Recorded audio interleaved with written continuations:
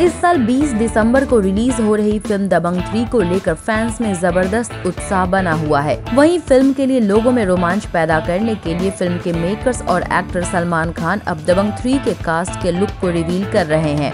सबसे पहले खुद सलमान खान ने दबंग थ्री से अपने चुलबुल पांडे के किरदार से लोगों को मिलवाया और अब भाईजान ने फ़िल्म के विलेन के फ़र्स्ट लुक को सोशल मीडिया पर शेयर किया है। साउथ के एक्टर किच्चा सुदीप ने फ़िल्म में विलेन बल्ली के किरदार को निभाया है। और किच्चा के लुक को रिवील करते हुए सलमान खान ने एक पोस्टर शेयर किया है और कैप्शन में लिखा है, विलेन जितना बड़ा हो, उससे भिड़ने में उतना ही मज़ा आता है। किच्चा सुदीप दबंग में बल्ली के किरदार में होंगे। इस पोस्टर में किच्चा सूट पहने दिख रहे हैं, जहाँ आँखों में गुस्सा और माथे पे शिकन किच्चा के इस लुक को फैंस काफ़ी पसंद कर रहे हैं। इस पोस्टर के बैकग्राउंड में पूरी तरह से जली हुई एक बस्ती दिख रही है, जिससे साफ़ ज़ाहिर है कि किच्चा सुदीप दबंग थ्री में अपने विलेन के किरदार से आग लगाने वाले हैं। वहीं सोशल मीडिया पर सोनाक्षी सिन्हा ने भी किच्चा के फ़र्स्ट लुक को शेयर किया है।